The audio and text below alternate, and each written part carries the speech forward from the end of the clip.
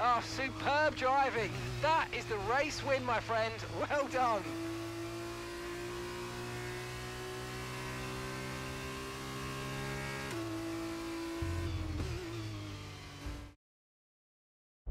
Victory for ART then, after a quality performance. Davide, what do you think made the difference here? This race, this win, was about one thing and one thing only, consistency. Anyone can be quick for just one lap, but there's a difference between that